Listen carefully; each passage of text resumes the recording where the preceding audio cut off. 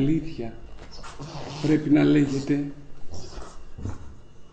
για να μην γίνονται άλλες μαλακίες. Για παράδειγμα, ο φασισμός.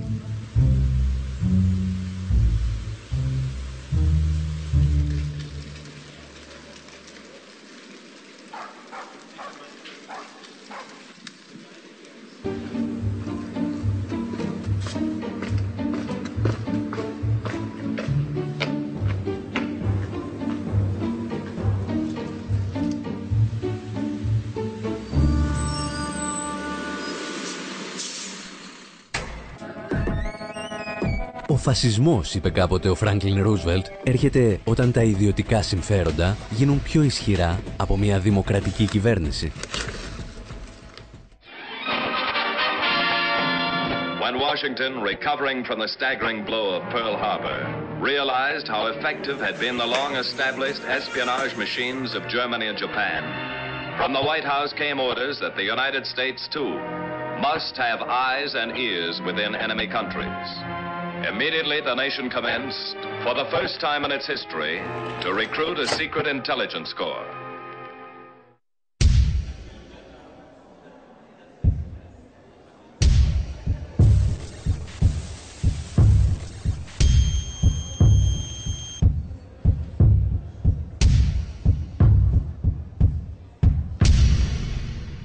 L'OSS, Office of Strategic Services, è, è stata la prima agenzia di intelligence eh, creata negli Stati Uniti. Per certi versi è l'antesignana di quella che poi sarà la CIA nel secondo dopoguerra.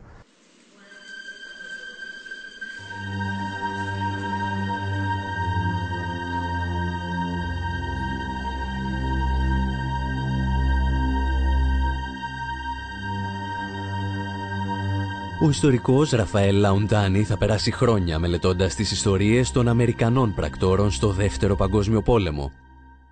Και εκεί κάνει μια απροσδόκητη ανακάλυψη. Προκειμένου να κατανοήσουν βαθύτερα το φαινόμενο του φασισμού, οι Αμερικανικές μυστικές υπηρεσίες κλείνουν το μάτι και στον Κάρολο Μάρξ,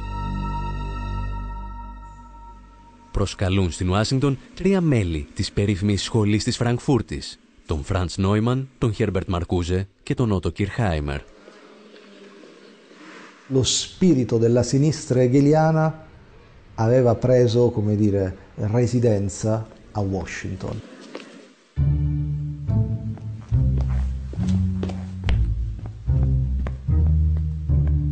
Però quando noi pensiamo a delle spie, no? noi pensiamo a questa figura avventurosa che va sul campo e si nasconde e poi passa delle informazioni segrete.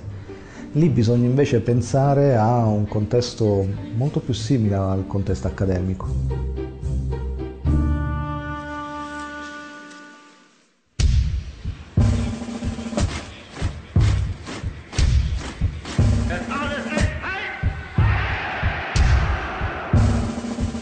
Για τα τρία μέλη της σχολής της Φραγκφούρτης, ο ναζισμός δεν είναι ένα ανεξήγητο φαινόμενο. Είναι σάρκα από τη σάρκα του κυρίαρχου οικονομικού συστήματος. il nazismo rappresenta il modo con cui la Germania entra pienamente dentro la modernità, cioè dentro il capitalismo. Όταν η έκβαση του πολέμου έχει πλέον κρυθεί και η Ουάσιγκτον ετοιμάζεται να οικοδομήσει την επόμενη ημέρα στην Ευρώπη, το OSS ρωτά τους τρεις αναλυτές πώς θα πρέπει να αντιμετωπίσει αυτούς που χρηματοδότησαν τον ναζισμό. Ci sono riferimenti a una lunga lista preparata in modo particolare da eh, Marcuse di criminali economici di guerra, cioè di un, un gruppo di industriali eh, tedeschi che eh, dal loro punto di vista andavano processati come criminali di guerra al pari dei gerarchi nazisti.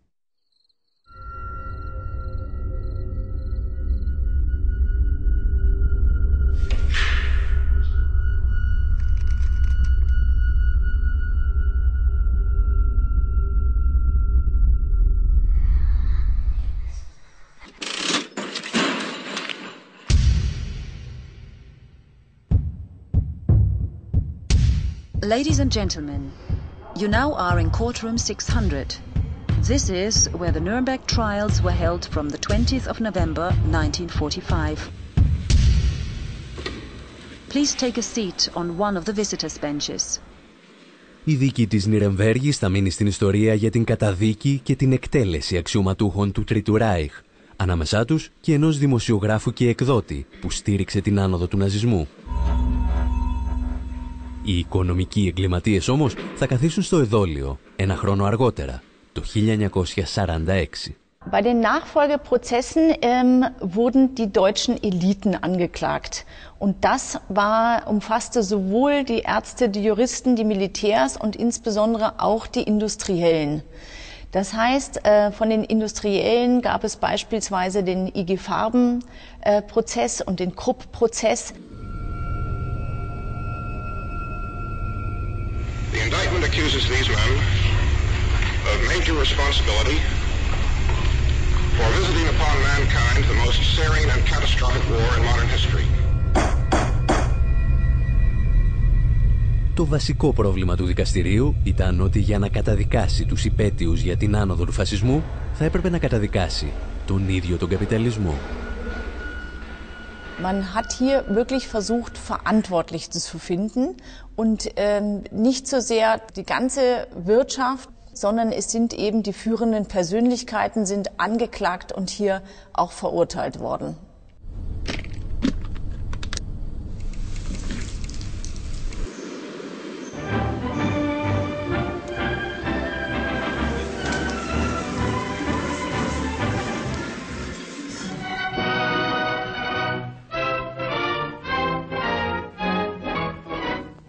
McCloy, der künftige amerikanische Hohe Kommissar für Deutschland, traf in Berlin ein. Μετά τον πόλεμο, η Ουάσιγκτον τοποθετεί ως ανώτατο επίτροπο της Γερμανίας τον τραπεζίτη Τζον Μακλόι, παλιό γνώριμο του Χίτλερ και πρώην δικηγόρο της IG Farben, της εταιρείας που κατασκεύαζε τα χημικά των θαλάμων αερίων, πριν διασπαστεί στην Μπάγερ, την Άγφα και την Μπάσφ. Και ο Μακλόι αρχίζει να απελευθερώνει τους βιομήχανους που υποστήριξαν τον Χίτλερ. Krupp bekam eine Haftstrafe, die waren relativ milde und man muss sagen, dass alle Angeklagten ab 1951 eigentlich wieder freikamen.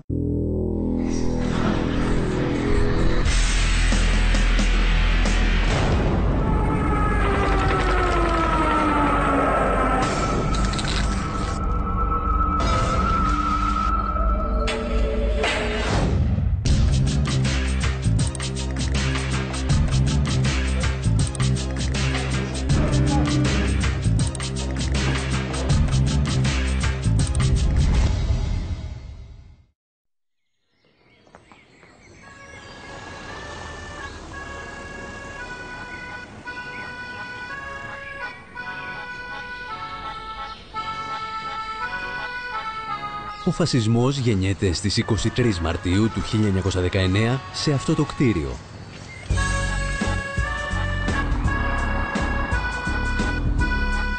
Το σύνδεσμο Ιταλών βιομηχάνων στο Μιλάνο.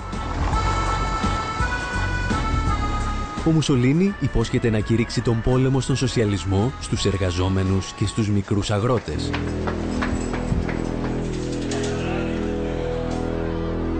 Και μένει πιστός στην υπόσχεσή του.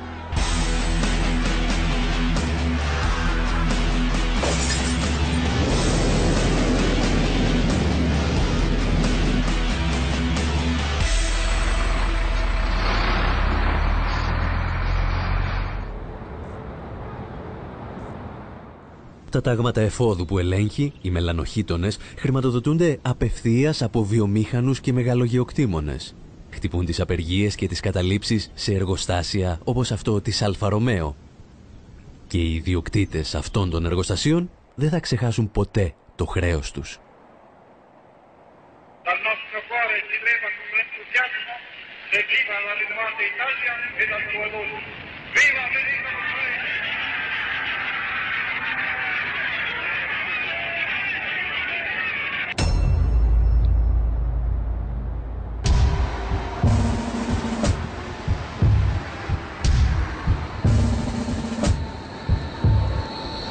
Την ίδια πρακτική θα ακολουθήσουν μερικά χρόνια αργότερα και τα τάγματα εφόδου του Χίτλερ.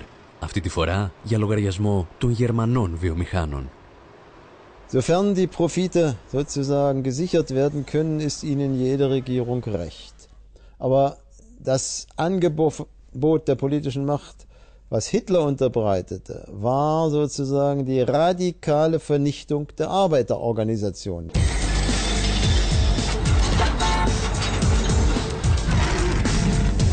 Τα τάγματα εφόδου του Μουσολίνη και του Χίτλερ δολοφονούν συνδικαλιστές, χτυπούν εργάτες και διαλύουν γραφεία εφημερίδων της αριστεράς. Η αστυνομία παρακολουθεί άλλοτε από απόσταση και άλλοτε συμμετέχει στις επιθέσεις. Πάντα με την ανοχή του δικαστικού σώματος.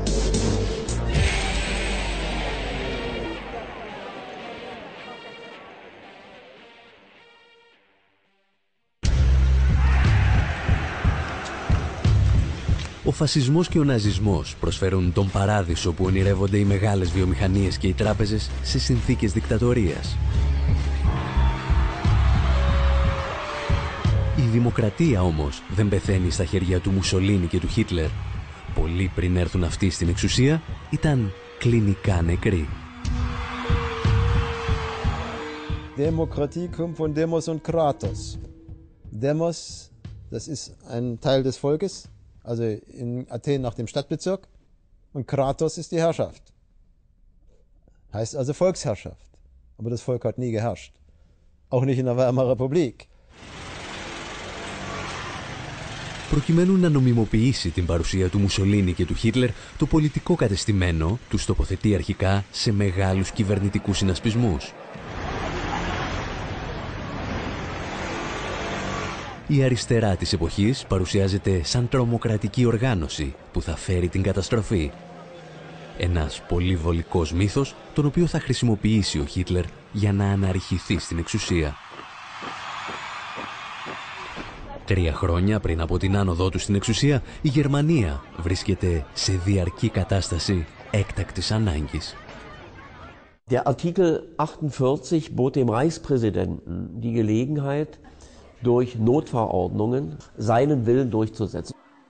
Es war quasi eine Präsidialdiktatur. Es regierte quasi der Reichspräsident, in Wahrheit natürlich der Reichskanzler.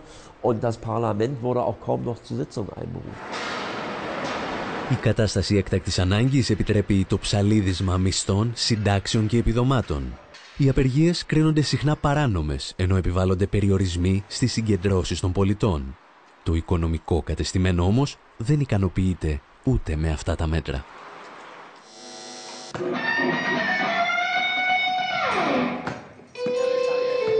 Ωραία, χαμήλωσε το τότε.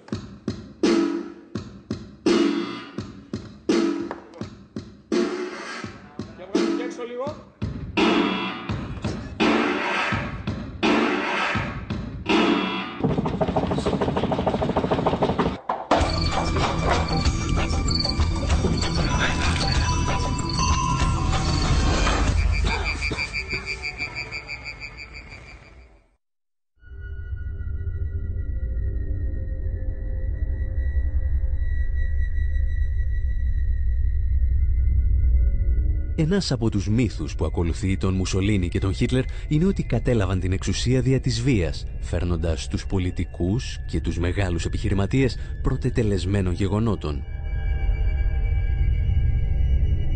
Στην πραγματικότητα παραβίαζαν απλώς ανοιχτές θύρες.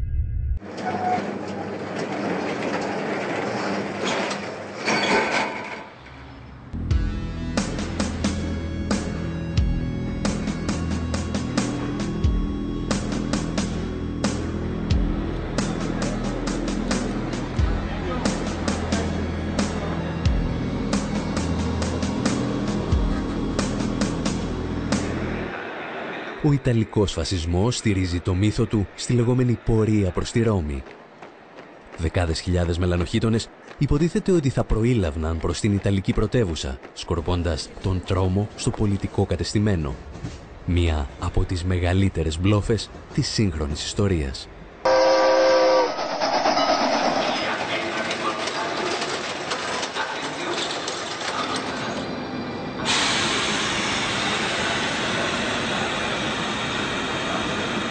Ο μόνος μελανοχίτονας που φτάνει στην ώρα του στη Ρώμη είναι ο ίδιος ο Μουσολίνη. Αγοράζει ένα εισιτήριο πρώτης θέσης από το Μιλάνο και σε κάθε στάση φωτογραφίζεται με οπαδούς του που υποτίθεται ότι περπατούν μαζί του. Όταν φτάνει στην Ιταλική πρωτεύουσα, ο βασιλιάς Βιτόριο Εμμανουέλε του παραδίδει τα κλειδιά της εξουσίας. Γιατί αυτό είχαν συμφωνήσει οι βιομήχανοι της Βόρειας Ιταλίας.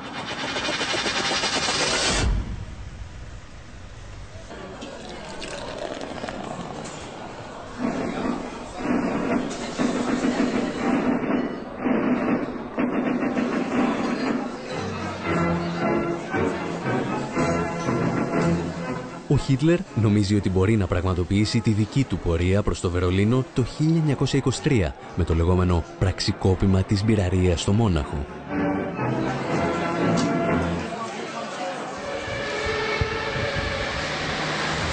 Δεν είχε καταλάβει ακόμη ότι κανένας φασίστας δεν ήρθε στην εξουσία εάν δεν είχε λάβει το πράσινο φως των μεγάλων επιχειρηματιών της εποχής του. So sehr sich alle bemühten, alle faschistoiden Kräfte, diesen Putsch zu unterstützen und ihm Vorschub zu leisten, sie hatten einfach nicht die entsprechende soziale Basis, sowohl als Massenbasis der eigenen Bewegung, als auch als Unterstützung durch die Großbourgeoisie sah 1923 keine Notwendigkeit, Hitler an die Macht zu schieben. Το πολιτικό και οικονομικό κατεστημένο της Γερμανίας αποδεικνύει ότι μπορεί να τσακίσει τον ναζισμό ανα πάσα στιγμή. Τον κρατά όμως σαν λύση ίστα της ανάγκης.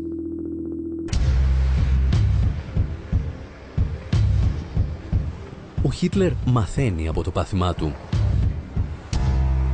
Μία δεκαετία αργότερα, μιλώντας στη λέσχη Γερμανών βιομηχάνων του Ντίσελντορφ, υπόσχεται και αυτός έναν παράδεισο για τις μεγάλες βιομηχανίες και μία κόλαση για τους εργαζόμενους.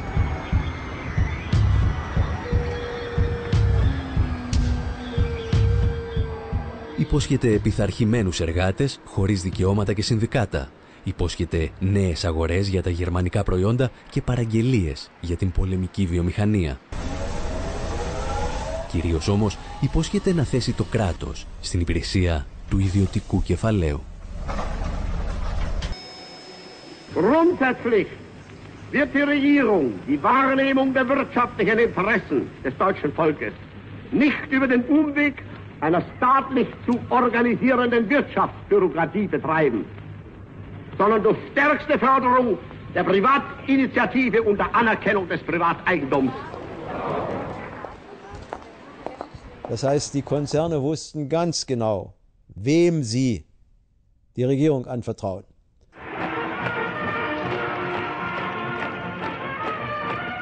Για τους μεγαλογεοκτήμονες και τη βαριά βιομηχανία της Ιταλίας και της Γερμανίας, ο Μουσολίνη και ο Χίτλερ δεν αποτελούν την καλύτερη δυνατή λύση. Το καπιταλιστικό σύστημα όμως βρίσκεται αντιμέτωπο με την μεγαλύτερη κρίση της ιστορίας του και το παραδοσιακό πολιτικό κατεστημένο δεν μπορεί πλέον να προστατέψει τα συμφέροντά του. Es blieb nur eines übrig, man brauchte eine möglichst erfolgreiche Massenbewegung von rechts, um die Massenbewegungen von links bekämpfen zu können.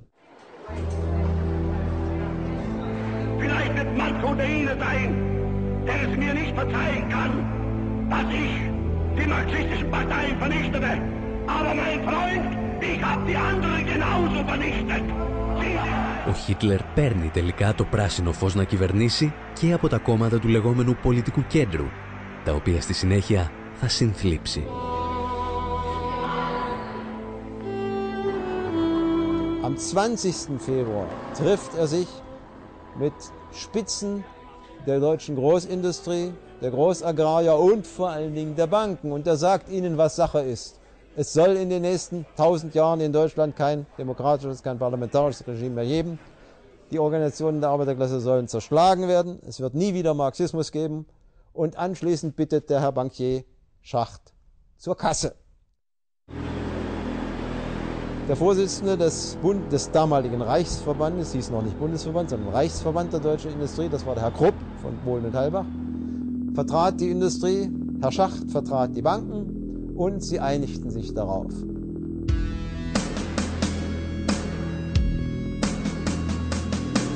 Wir haben jedenfalls auf dem Höhepunkt der Krise, die liegt also im Spätsommer, Frühherbst 1932, eine sogenannte industriellen Eingabe. Das heißt, Großindustrielle und Großagrarier schreiben an den Reichspräsidenten Hindenburg, er möge den Führer der größten Partei, Adolf Hitler, mit der Regierung beauftragen.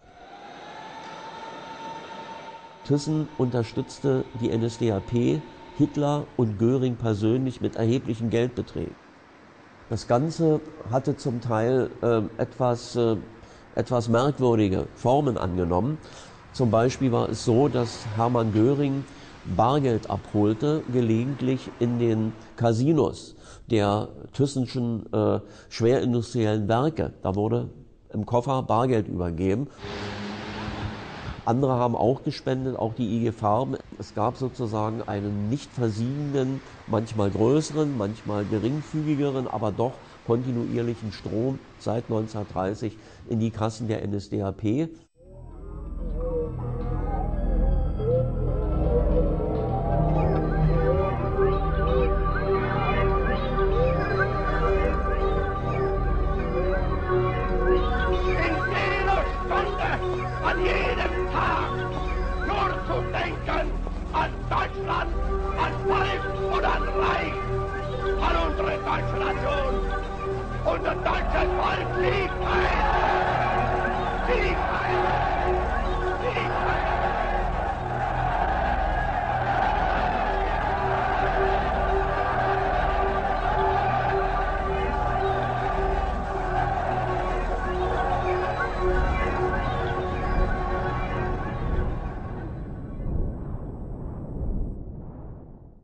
Dieses sogenannte System der industriellen Selbstverwaltung war sozusagen die reine Diktatur der deutschen Monopolbourgeoisie im Rahmen des Faschismus.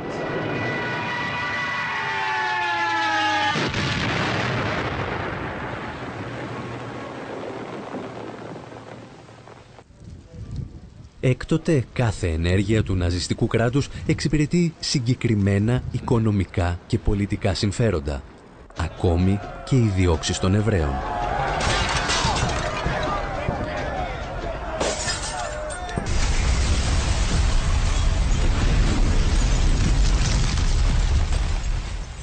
Η Γερμανία έχει έναν ισχυρό χώρο μικρομεσαίων και ένα σημαντικό τμήμα αυτού του χώρου είναι εβραϊκό. Λοιπόν, η καταστροφή αυτών των Εβραίων επιτρέπει στη Γερμανία να γίνει προς το τέλος της δεκαετίας του 30 επί ναζισμού πρωτοπόρος, τι να σας πω, ε, σε αυτό που σήμερα γνωρίζουμε ως μεγάλα καταστήματα. Το ρατσιστικό πολγκρόμ έχει και οικονομικούς στόχους και οικονομικό πρόσωπο και φυσικά και πολιτικούς. Ποιος φταίει για την ανεργία, ο αποδιοπομπαίος τράγος, οι Εβραίοι, οι οποίοι παίρνουν τις δουλειές, οι οποίοι κάνουν, οι οποίοι δείχνουν. Οικονομικά και πολιτικά συμφέροντα όμως κρύβονται και στα στρατόπεδα συγκέντρωσης, τις ειδικές οικονομικές ζώνες της εποχής. Το συγκρότημα στρατοπέδων του Νταχάου, μεταξύ άλλων, γιατί εξυπηρετεί πάρα πολλές βιομηχανίες, ε, στην ουσία προμηθεύει άφθονο, φθηνό εργατικό δυναμικό στους μεγάλους, στα μεγάλα εργοστάσια της BMW που εκείνο τον καιρό έφτιαχνε κυρίως κινητήρες αεροπλάνων.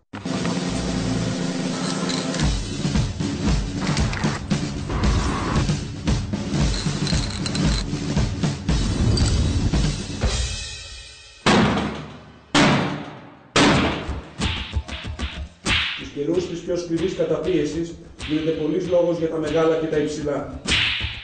Χρειάζεται θάρρος να μιλάς σε τέτοιους καιρούς για πράγματα χαμηλά και φθηνά όπως το φαγητό και η δουλειά.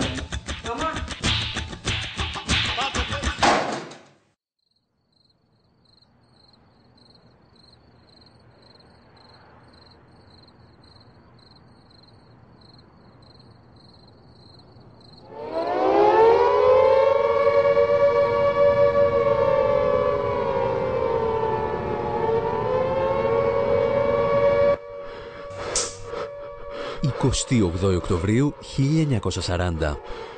Ένας νεαρός επιχειρηματίας ξυπνά στις 5.30 τα ξημερώματα από τις πολεμικές ειρήνες. Η φασιστική Ιταλία επιτίθεται στην Ελλάδα.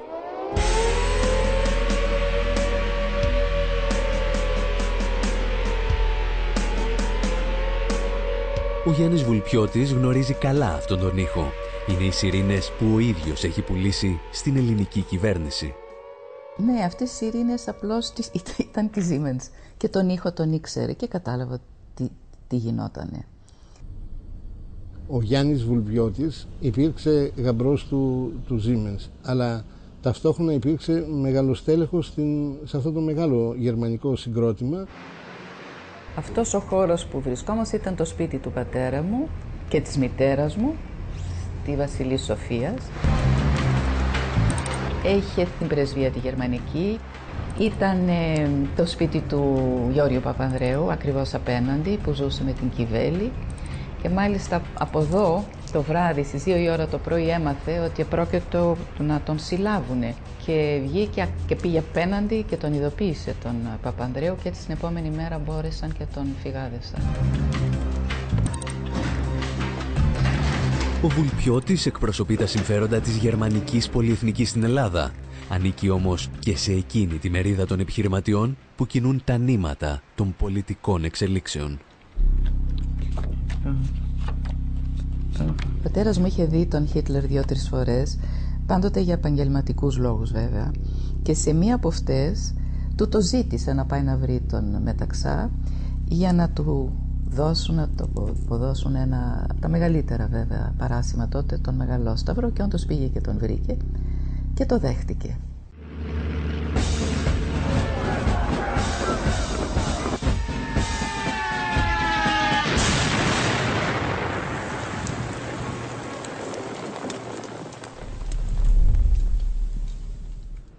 Καθώς η Γερμανία επιχειρεί να καταλάβει ολόκληρη την Ευρώπη, στις κατεχόμενες χώρες οι μεγάλοι επιχειρηματίες καλούνται να αποφασίσουν αν θα συνεργαστούν με το ναζιστικό καθεστώς.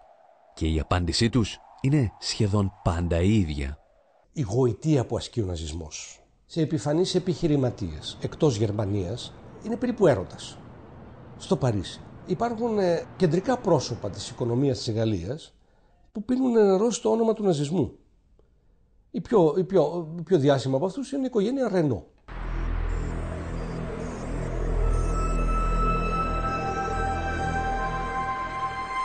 Η Ελλάδα δεν θα αποτελέσει εξαίρεση.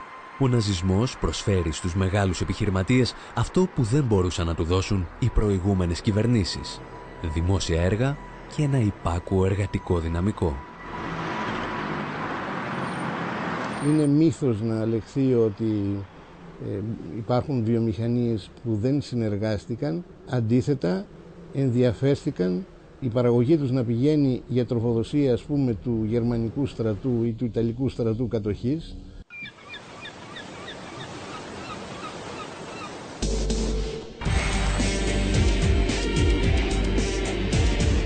Η βάση του συλλογισμού, η βάση του συλλογισμού δεν είναι ηθική.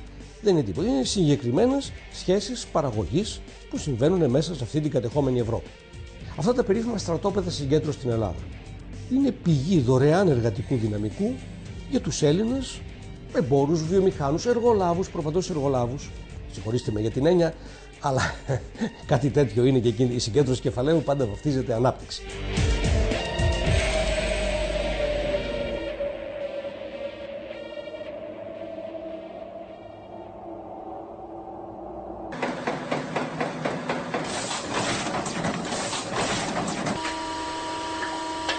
Το success story της ναζιστικής κατοχής απαιτεί όμως και την ανάλογη προώθηση από τα μέσα ενημέρωσης. Και οι μεγάλοι εκδότες είναι πάντα πρόθυμοι να συνεργαστούν. Οι Γερμανοί ήρθαν στην Αθήνα στις 27 Απριλίου του 1941. Ήρθε και μια γερμανική εταιρεία η οποία λεγόταν Mundus ανήκε κατά 50% στο Υπουργείο Προπαγάνδας της Γερμανίας, υπό τον Γκέμπελς δηλαδή, και κατά 50% στο Υπουργείο Εξωτερικών του υπό το Ρίμπεντροπ. Συγκρότησαν λοιπόν μια εταιρεία μαζί με το συγκρότημα Λαμπράκη η οποία ανέλαβε όχι μόνο τις εκδόσεις του συγκροτήματος Λαμπράκη που πλέον γινόταν γερμανική εταιρεία αλλά έκανε και άλλες συμμετοχές όπως με τα μεγαλύτερα βιβλιοπωλεία της εποχής τον Ελευθεροδάκη και τον Κάουφμαν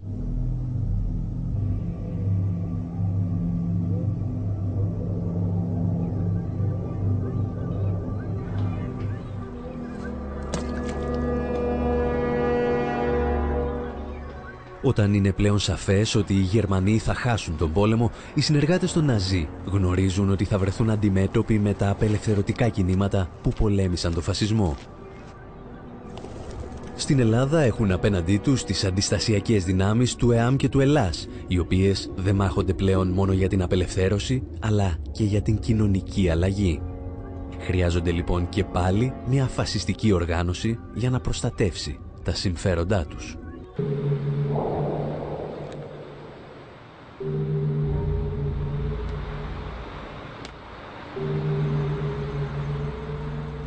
πρώτη μαζική φασιστική οργάνωση στην Ελλάδα είναι τα τάγματα ασφαλείας που δίνουν όρκο στο Χίτλερ που χρησιμοποιούνται επικουρικά στις δυνάμεις κατοχής.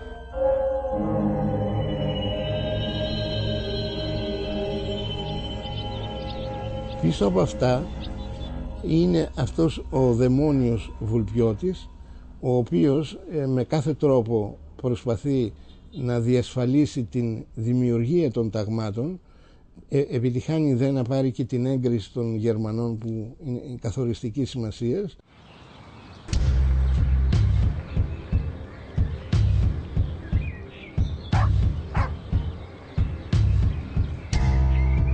Στον ε, ε, στρατιωτικό ακόλουθο με τον οποίο είχαν και μια φιλική σχέση ε, τον Κλέμ Φον Χόχεμπεργκ. Μάλιστα είχαν πάει εδώ στο βασιλικό κήπο και του έδειξε τους τσολιάδες της φρουράς.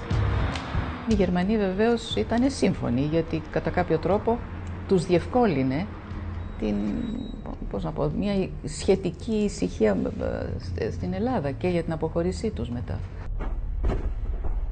Ήταν δική του ιδέα μεν, αλλά την υποστήριξαν και τέσσερις πρωθυπουργοί.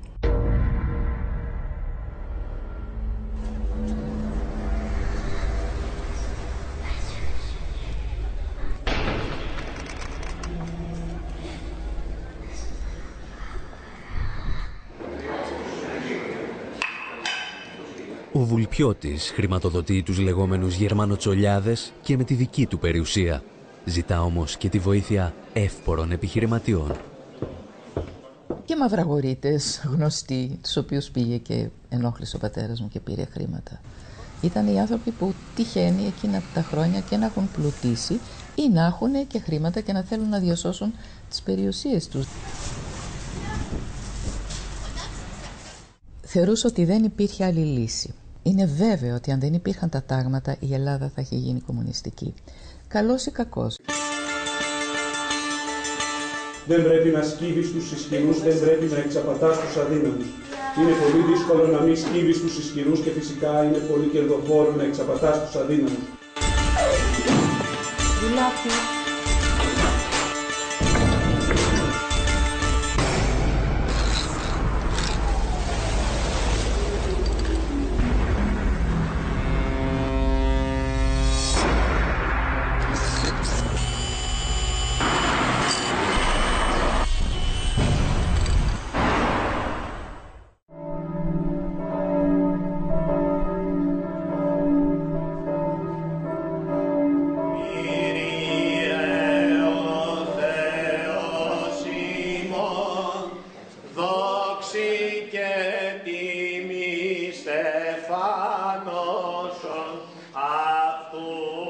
1973, στην εκκλησία του Αγίου Δημητρίου στους Αμπελόκηπους, ένα νεαρό φωτομοντέλο, η Ντέλα Ρούνικ, παντρεύεται έναν από τους ισχυρότερους άνδρες της Χούντας, τον διοικητή της ΚΙΠ, Μιχάλη Ρουφογάλη.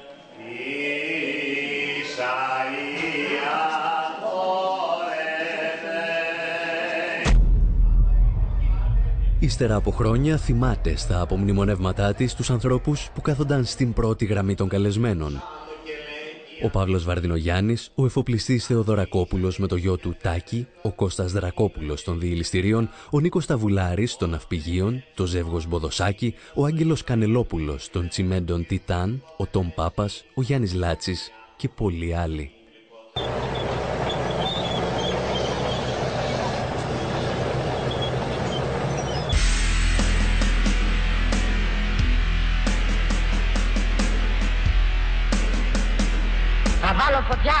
Εις του ουδήποτε το κεφάλι κύριε. Αλλά φωτιά στην ελληνική κοινωνία δεν θα επιτρέψω να βάλει κανείς. Και εάν χρειαστεί θα τους συνδέσω.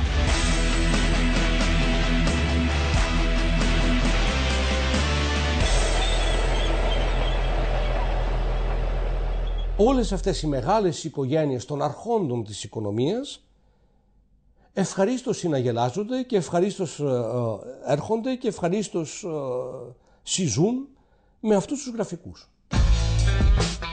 Ο γραφικός δικτάτορας Παπαδόπουλος ζει σε μια έπαυλη που του έχει χαρίσει ο Νάσης, ενώ η γυναίκα του κάνει τα ψώνια της σε όλη την Ευρώπη με τις λιμουζίνες εφοπλιστών όπως ο Λάτσης. Την έχει ανάγκη η Χούντα την έγλη και οι άλλοι έχουν ανάγκη το να φτιάξουν δηληστήριο χωρίς να δώσουν λογαριασμό σε κανένα. Ή να φτιάξουν ξενοδοχείο καταπατώντας ό,τι θέλουν και δεν θέλουν. Κατά τη διάρκεια γεύματος, παρατεθέντος προς τιμήν του κυρίου Πρωθυπουργού, ο πρόεδρος της Ενώσεως Ελλήνων Εφοπλιστών, κ. Ανδρεάδης, ανέγνωσε ψήφισμα της Γενικής Συνελεύσεως της Ενώσεως, δια του οποίου ο κ. Πρωθυπουργός ανακηρύσσεται ισόβιος επίτιμος πρόεδρος της Ενώσεως εις αναγνώριση του θερμουργού ενδιαφέροντός του δια την ελληνική εμπορική ναυτιλία. Με τη σειρά του, ο Παπαδόπουλος βραβεύει με την ελληνική σημαία εφοπλιστές όπως ο Νάση, ο Γουλανδρής, ο Χανδρής και ο Νιάρχος σε όλους προσφέρει σχεδόν απόλυτη φοροασυλία, η οποία προκαλεί αιμορραγία στον κρατικό προϋπολογισμό. Ένα καθεστώς το οποίο καμία κυβέρνηση δεν τολμά να θίξει μέχρι και σήμερα. Για όλους τους εργαζόμενους οι μισθοί παγώνουν και οι απεργίες απαγορεύονται, ενώ οι επιχειρηματίες απολαμβάνουν σκανδαλώδη προνόμια από το δημόσιο. Μετά την περίοδο της κατοχής, η περίοδος της Χούντας είναι ακριβώς η περίοδος που το ελληνικό κεφάλαιο πετυχαίνει τη συγκέντρωση, την πρωταρχική συσσόρευση κεφαλαίου για να απογειωθεί ο καπιταλισμός. Είναι η εποχή που παρελάβουν τα μεγάλα ε, οικονομικά συγκροτήματα κυρίως του ελληνικού εφοπλισμού. Κυρίως του ελληνικού εφοπλισμού. είτε, ή του πετρελαίου, της βιομηχανίας του πετρελαίου.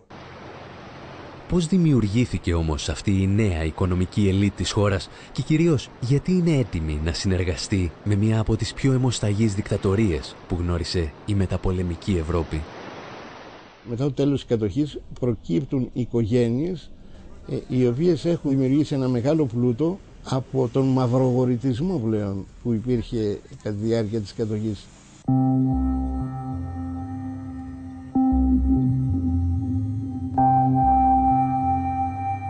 Αυτοί οι οποίοι αποτελούν τον κορμό του πλέγματος εξουσίας στην Ελλάδα από το 40 μέχρι σήμερα είναι ακριβώς εκείνοι που στήθηκαν στη διάρκεια της κατοχής. Η Ελλάδα είναι το μόνο παράδειγμα στην Ευρώπη όπου οι συνεργάτες των Ναζί δεν έχασαν τον πόλεμο. Αντίθετα βρέθηκαν στο κέντρο του καθεστώτος.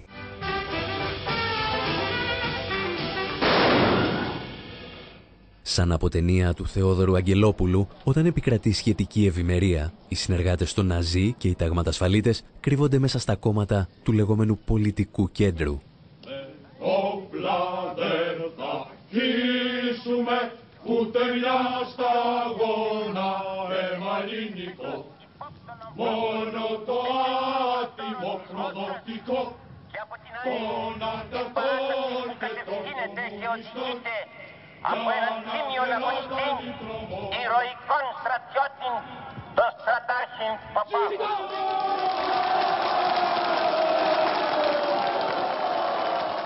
Ξαναβγαίνουν όμως στο προσκήνιο όταν τους χρειάζεται το πολιτικό και οικονομικό κατεστημένο.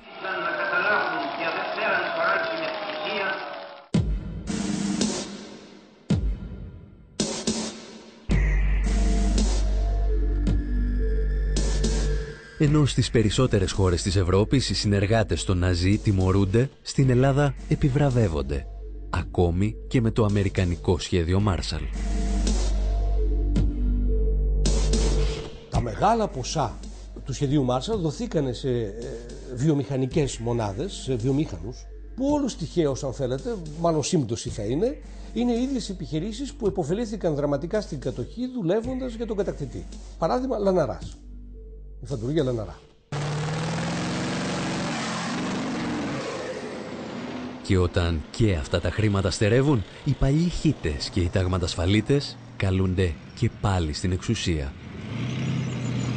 Γι' αυτό και όταν φαίνεται ότι καρκινοβατεί αυτή η υποσχεμένη αλλά ουδέποτε επιτευθύσα μετεμφυλιακή ανάπτυξη της Ελλάδας.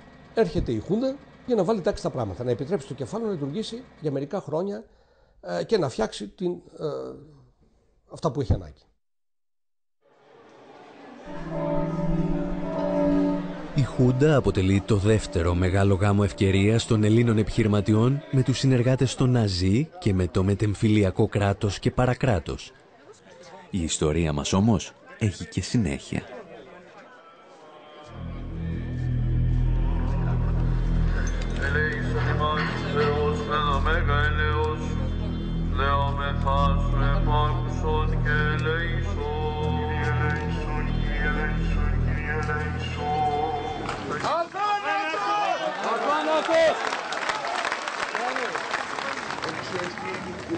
Στις αρχές του 2013, απόγονοι των δοσύλλογων της κατοχής, νοσταλγοί της Χούντας και νεοναζιστές βουλευτές αποχαιρετούν ένα δικό τους άνθρωπο.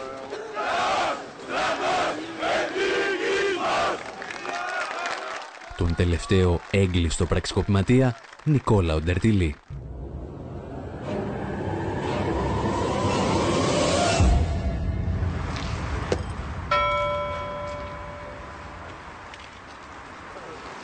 Πριν κλείσει αυτή η μαύρη σελίδα, οι τελευταίοι χουντικοί έχουν φροντίσει να σπείρουν τα άνθη του κακού στο πολιτικό σκηνικό.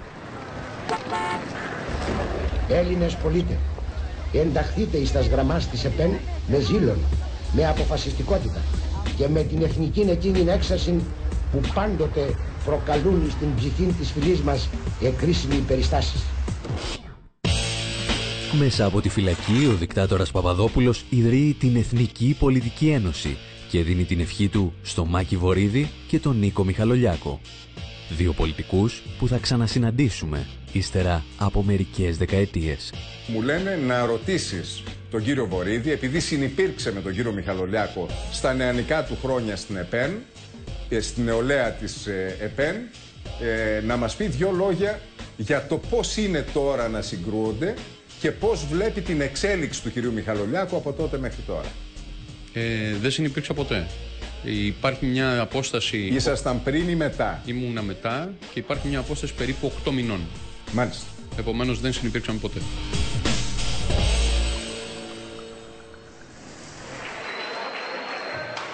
1993 με τη Νέα Δημοκρατία ο δείκτης στις 950 μονάδες. 1999 με το ΠΑΣΟΚ ο δείκτης στις 4.000 μονάδες περίπου. Η φαινομενική ευημερία της δεκαετίας του 80 και του 90 δεν αφήνει περιθώρια στους νοσταλγούς της Χούντας και της κατοχής να παίξουν το ρόλο που ονειρεύονται. Όταν όμως το πάρτι του λεγόμενου εξυγχρονισμού διακόπτεται με κρότο και λιγμό και όταν η κρίση χτυπά και την Ελλάδα, οι συνθήκες αλλάζουν.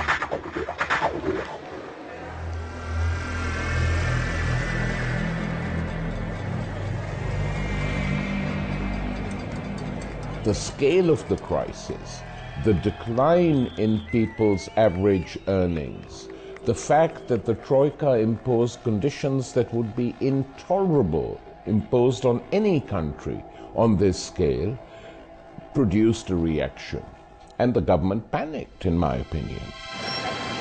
στην Ελλάδα του 2013 όπως και στη Γερμανία του 1933 οι αστεί και συγκεκριμένα αυτοί που παίρνουν τις πολιτικές αποφάσεις ε, για λογαριασμό του πλέγματος εξουσίας χρησιμοποιώ ένα τεχνικό όρο εδώ είναι διατεθειμένοι να παίξουν με το φασισμό. Elements of the state apparatus in Greece encourage the Golden Dawn to become more active. Who is Golden Dawn? It's a explicitly fascist organization. Νομίζω ότι μετά τη μεταπολίτευση είναι το πρώτο κίνημα που γεννιέται αυθεντικά. Το λέω αυτό επειδή είμαι Χρυσή Αυγή.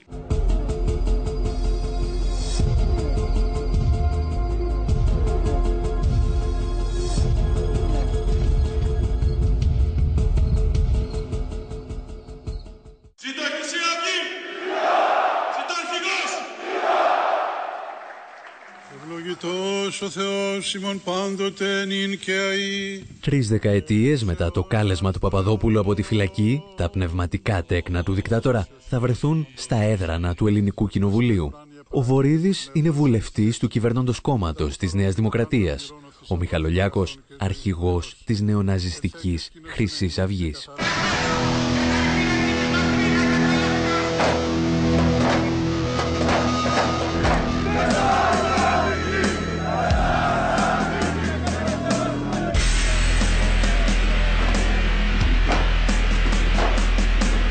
Οι νεοναζιστές παρουσιάζονται σαν αντισυστημικό κόμμα που μάχεται για τους φτωχούς και τους αδικημένους.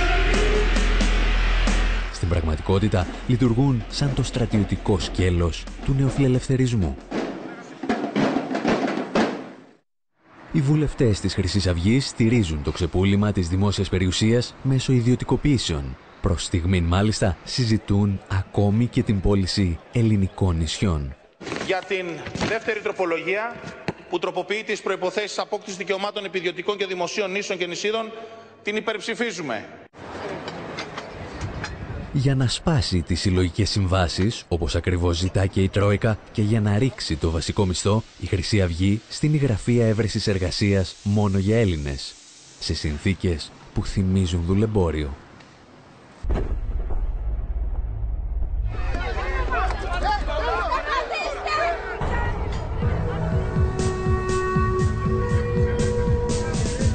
Το κόμμα του Μιχαλολιάκου στηρίζει το κλείσιμο της δημόσιας τηλεόρασης προσφέροντας εκατομμύρια στους μεγάλους καναλάρχες.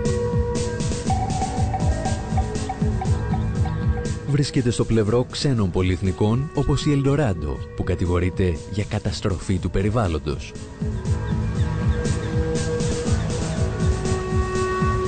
Το αγαπημένο τους θέμα όμως είναι πάντα η στήριξη των εφοπλιστών.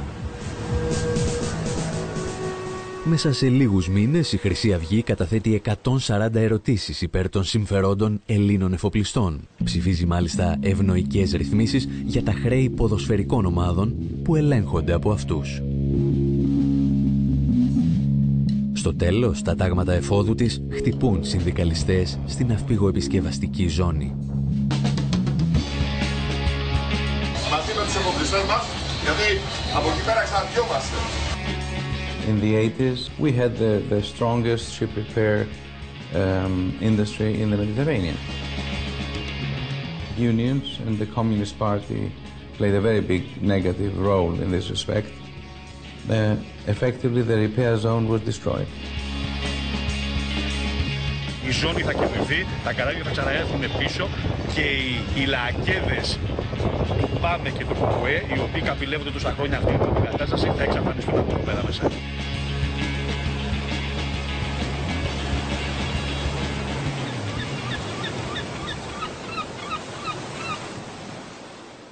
Ο Μιχαλολιάκος και ο Κασιδιάρης στήθηκαν από το κράτος και από τα μίντια. Από τους καπιταλιστές δηλαδή οι οποίοι ελέγχουν και τον κρατικό μηχανισμό και τα μέσα ενημέρωσης.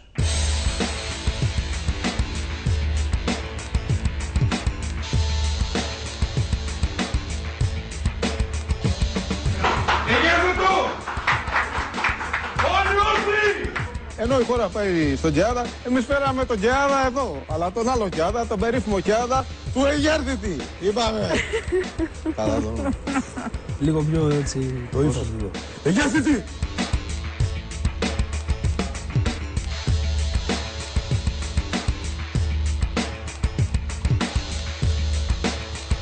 Καλός μαθητής τουλάχιστον. Μπήκαμε την πρώτη στο μαθηματικό Αθηνών.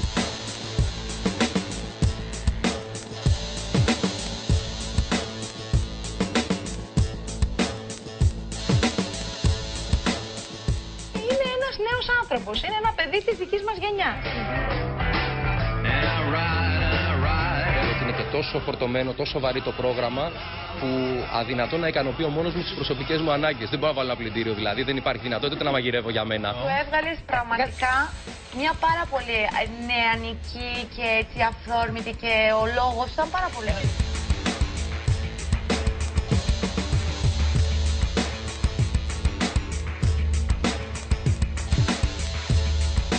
Γιατί όχι μετά όμως μια σοβαρότερη Χρυσή Αυγή να μην τη δεχτούμε να υποστηρίξει όπως συμβαίνει σε πάρα πολλές ευρωπαϊκές χώρες όπως συνέβη χτες στην Νορβηγία να υποστηρίξει μια συντηρητική συμμαχία.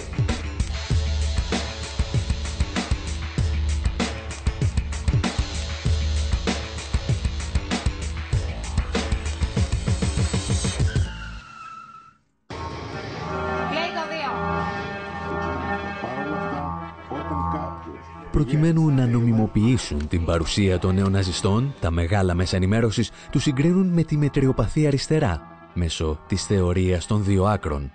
Και στο τέλος ευχαριστούν τους ναζιστές γιατί τους έδειξαν, όπως λένε, το βίαιο πρόσωπο της αριστεράς.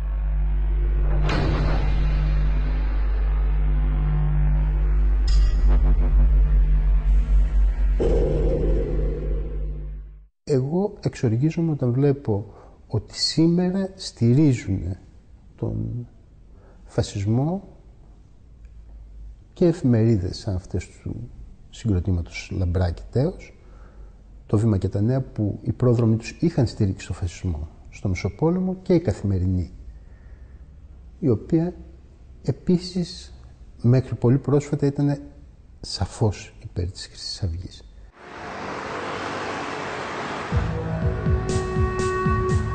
Για άλλη μια φορά, ο φασισμός δεν κάνει την εμφάνισή του σε ένα υγιές πολιτικό σύστημα, αλλά σε μια παροδία δημοκρατίας. Μετά την επιβολή του μνημονίου, οι σημαντικότερες αποφάσεις δεν λαμβάνονται από το Κοινοβούλιο, αλλά με πράξεις νομοθετικού περιεχομένου. Οι διαδηλώσεις απαγορεύονται όταν επισκέπτονται τη χώρα Γερμανοί αξιωματούχοι. Οι μεγαλύτερες απεργίες κρίνονται παράνομες και οι απεργοί επιτάσσονται.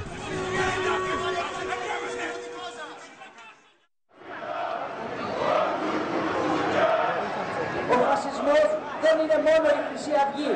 Ο φασισμός νικήθηκε και διαλύθηκε από τα μέτωπα που έστησαν όλοι οι λαοί του κόσμου.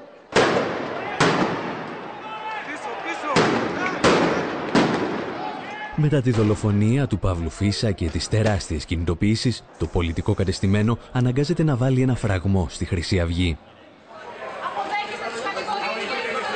Η ιστορία όμως έχει δείξει ότι αυτό δεν είναι πάντα εύκολο.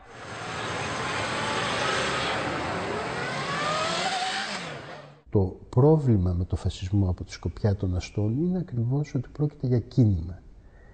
Που σημαίνει ότι είναι ανεξέλεκτο, τα κίνηματα δεν μπορείς να τα ε, ξεκινάς και να τα σταματάς κατά βούληση.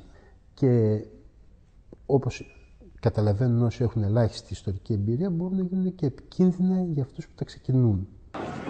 Ενώ η προσοχή όλων ήταν στραμμένη στη Χρυσή Αυγή, τα κόμματα του πολιτικού κέντρου υιοθετούσαν την ατζέντα της. Υιοθετούσαν την εικόνα του κτίνους. Οι κυβερνήσεις του Πασόκ και της Νέας Δημοκρατίας αναζητούσαν νέους αποδιοπομπαίους τράγους και οι υπουργοί, όπως ο σοσιαλιστής Μιχάλης Χρυσοχοίδης, έστειναν τα μεγαλύτερα στρατόπεδα συγκέντρωσης μεταναστών. Ολοκληρωμένη πολιτική ασφάλειας για τον Έλληνα πολίτη και ολοκληρωτικά πλέον να απομακρυνθούν οι λαθρομετανάστες από αυτόν εδώ τον τόπο που πλέον έχουν γίνει τύρανοι της κοινωνίας.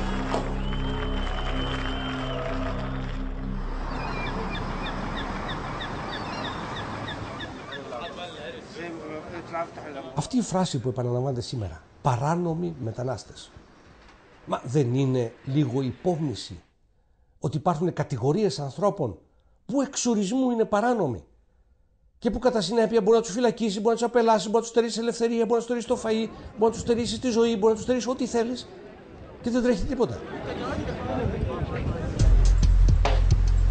Σύντομα από τα ίδια στρατόπεδα, εκτός από τους μετανάστες, θα αρχίσουν να περνούν και τοξικομανείς, ενώ επί Υπουργείας Ανδρέα Λοβέρδου, οροθετικοί ασθενείς διαπομπεύονται μπροστά στα κανάλια για λίγες ψήφους πριν από τις εκλογές.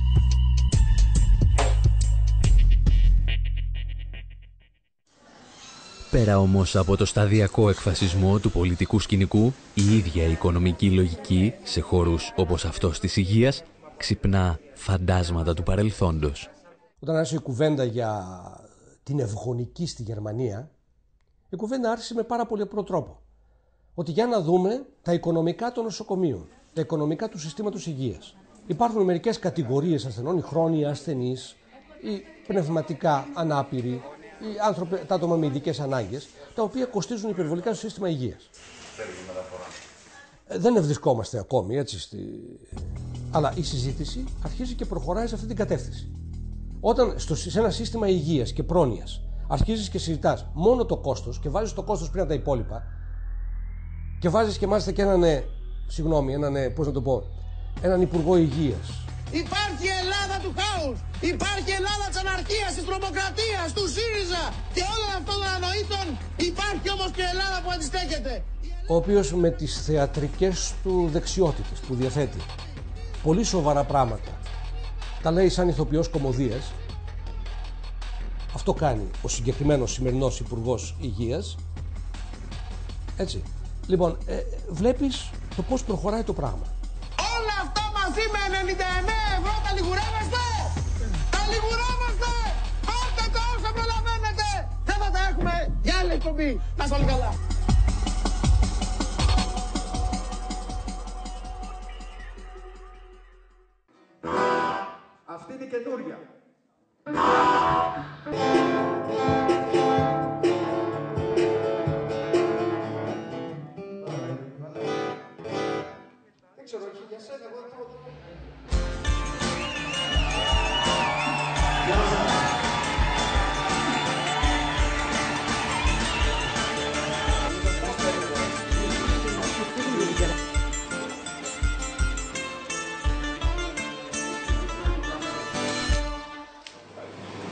Στη σύντομη ιστορία του, ο φασισμός είχε πάντα ένα μυστικό σύμμαχο. Γεννιόταν και αναπτυσσόταν στις ευνοϊκές συνθήκες που δημιουργούσαν γι' αυτόν οι μεγαλύτεροι Ευρωπαίοι ηγέτες. This is Churchill on Mussolini. If I had been an Italian, I am sure that I should have been wholeheartedly with you from the start to finish in your triumphant struggle against the bestial appetites and passions of Leninism.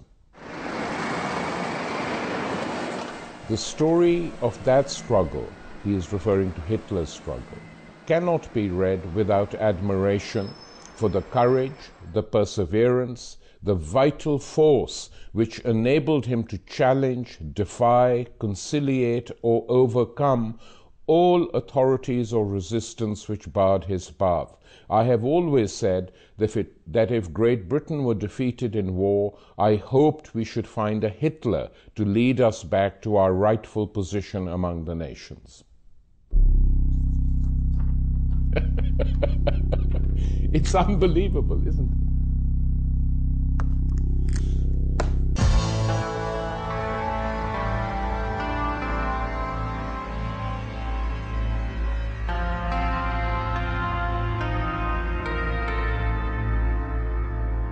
Στην Ελλάδα της οικονομικής κρίσης, η Ευρωπαϊκή Ένωση και οι πιστωτές της θα νομιμοποιήσουν πολιτικά την άκρα δεξιά για να φέρουν στην εξουσία έναν μη εκλεγμένο τραπεζίτη, τον Λουκά Παπαδήμο.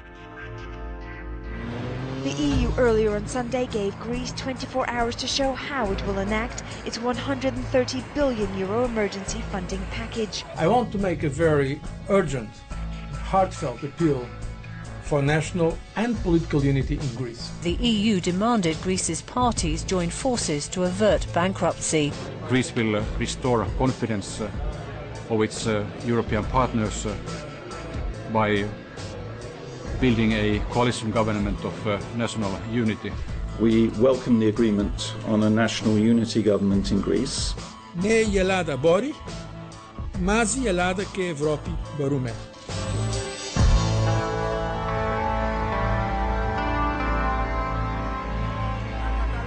Η Ευρωπαϊκή Ένωση πιέζει για ένα μεγάλο κυβερνητικό συνασπισμό με τη συμμετοχή και του Λάος. Η Ελλάδα ανήκει στους καθαρούς Έλληνες. Στους Έλληνες που αγαπάνε την πατρίδα, που αγαπάνε το έθνος. Ενός κόμματος από το οποίο πέρασαν χουντικοί, αντισημίτες, αλλά ακόμη και πολιτικοί που χόρευαν με ναζιστικά συνθήματα.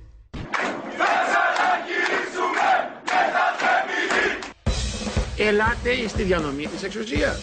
Ελάτε να πάρετε κι εσείς.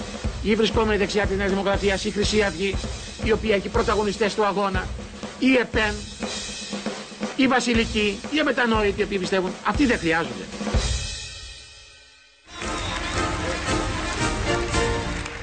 Η Ευρωπαϊκή Ένωση αποδεικνύει ότι μπορεί να ανεχθεί ακόμη και πολιτικούς απογόνους του Μουσολίνη, όπως ο Τζιανφράνκο Φίνι στην Ιταλία.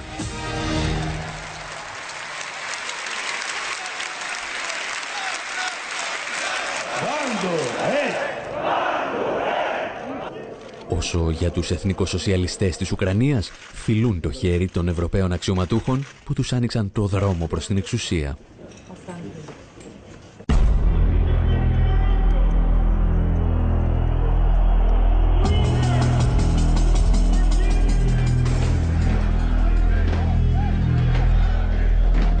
If Golden Dawn was part of a right wing coalition of parties, a tiny part of it, or kept it going, I think they would accept it.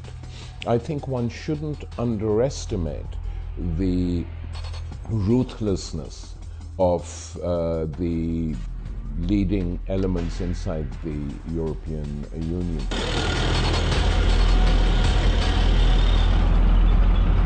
Είπαμε ότι είναι πολύ λίγα χρόνια από την κατοχή στη Χούντα είναι πολύ λίγα χρόνια από τη νέα Ευρώπη του Χίτλερ στην ενωμένη Ευρώπη του Μάστριχτ. Το σχέδιο δεν είναι το ίδιο, προς Θεού, έτσι. Είναι πολύ α, μετριοπαθές το σχέδιο της Ευρωπαϊκής Ένωσης και με το αντίστοιχο. Αυτή είναι η βασική διαφορά. Αλλά κατά τα άλλα, οι βασικές αρχές είναι με ήπιο τρόπο, οι βασικές κατευθύνσεις με πολύ ήπιο τρόπο είναι οι ίδιες. Απαξίωση του κόστους εργασίας και συγκέντρωση κεφαλαίου.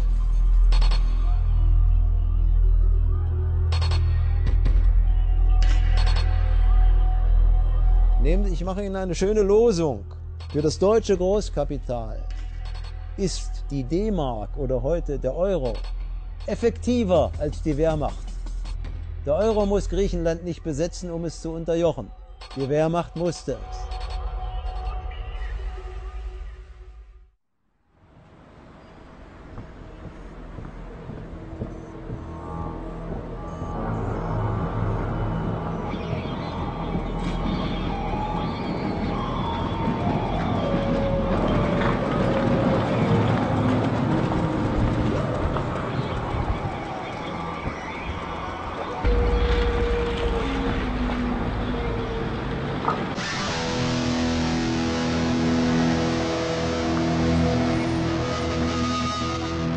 Όσο δυνατά στηρίγματα και αν είχε ο φασισμός, στην ιστορία του έχασε όλες τις μάχες. Το 1936, όταν ακόμη ο Τσόρτσιλ εξυμνούσε τον Μουσολίνη και τον Χίτλερ, ο Βρετανός φασίστας Όσβαλτ Μόσλεϊ θέλησε να πραγματοποιήσει τη δική του πορεία προς το Λονδίνο, με 2.000 μελανοχίτονες. Η αστυνομία ήταν εκεί για να τον προστατεύσει, αλλά βρήκε απέναντί του 100.000 αντιφασίστες διαδηλωτές από διαφορετικά πολιτικά κόμματα, ενώσεις και συνδικάτα. Και από τότε ο φασισμός δεν στέριωσε ποτέ στη Μεγάλη Βρετανία. Πώς λοιπόν να πει κάποιος την αλήθεια για τον φασισμό όταν δεν θέλει να πει τίποτα για τον καπιταλισμό που τον προκαλεί; Αυτοί που παραπονιούνται για τη βαρβαρότητα που αιτία τάχα έχει τη βαρβαρότητα την ίδια, μοιάζουν με ανθρώπους που θέλουν να φάνε το κρέας, να μην δουν όμως τα αίματα. Υψώνουν τη φωνή μόνο όταν οι χασάπιδες δεν πλένουν τα χέρια τους προτού φέρουν το κρέας στο τραπέζι.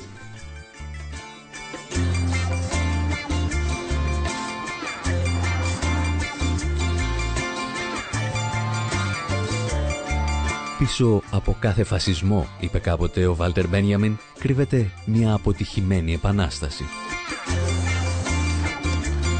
Όσο πιο γρήγορα λοιπόν αποφάσιζαν ορισμένοι να τσακίσουν τον φασισμό και κυρίως όσο πιο δυνατό ήταν το όραμά τους για μια διαφορετική κοινωνία, τόσο πιο ταπεινωτική ήταν η ήττα του. Έγινε ο κόσμος μια μεγάλη φυλακή Κι εγώ ψάχνω έναν τρόπο τα δεσμά να σπάσω Έχω ένα μέρος που με περιμένει εκεί Σε μια πολύ ψηλή κορφή πρέπει να φτάσω Γι' αυτά πλώνω ξανά. Πολύ ψηλά τα δυο μου χέρια Για να κλέψω λίγο φως από τα λάβερα αστέρια. Δεν αντέχω εδώ κάτω και κοντεύει να με πλήξει. Των ανθρώπων η μιζέρια τόσο όσο και η θλίψη δεν αντέχω. Άλλο κι όλοι αυτοί δεν μου ταιριάξαν Πήρα τ' άλλο μονοπάτι και όχι αυτό που μου χαράξαν. Ήταν δύσβατο σκληρό και με παγίδες πολλές. Αγάπες κάρτες και φίλοι φαρμάκερες Είχε τέρατα με παράξενες στολές που παράμονευαν πάντοτε κρυφά μες στι σκιές. Μην κοντοσταθείς, αν πρόκειται να ακολουθήσεις. Τα δόντια σφίξε γερά και μη δακρύσεις. Εγώ το πήγα και το έφτασα στο τέρμα. Και όπως γράφουν στα βιβλία, οι παλιοί σοφοί όταν θα φτάσει ο ήλιος στο τελευταίο γέρμα. Θα βάλουνε φωτιά από ψηλά οι αετοί. Για σου με πρόδωσαν με πίσω μαχαιριές θέλω να ξέρουν ότι Σιγά μην κάψουν Και για αυτές τις αγάπες τις παλιές θέλω να ξέρουν ότι Σιγά μην κάψουν Κι όσοι μ' απειλήσαν με πυρηνάδες μα θέλω να ξέρουν ότι Σιγά μην φοβηθούν Να έρθουνε να με βρουν στην κορυφή ψηλά τους περιμένω και Σιγά μην φοβηθούν Μου είπα να μην κάνω όνειρα τρελά να μην τολμήσω να κοιτάξω τα αστέρια.